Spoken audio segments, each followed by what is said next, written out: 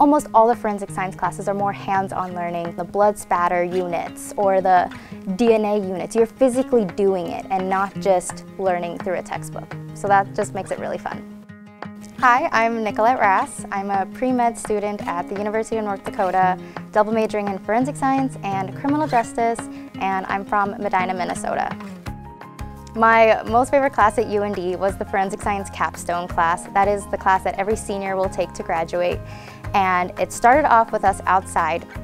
We were working with decomposed pigs for four weeks and we just watched as they decomposed over time. We collected specimens and then we came back into the lab when the snow started to come and we looked under microscopes and we did some DNA analysis. And that was super fun too. It's a bit of physics, it's a bit of math, chemistry, biology, it's a bit of everything. It's not just one specialty, and that's what I really like about forensic science.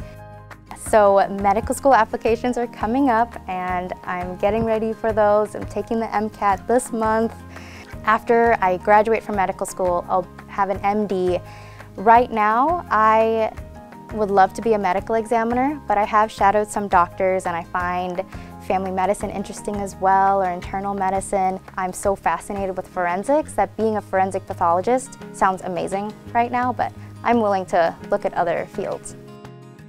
If I didn't have these forensic science classes, if I didn't have these hands-on experiences, I wouldn't know to specialize more in grad school or med school. So having these hands-on experiences, it exposes me to what forensic science is and the different fields out there.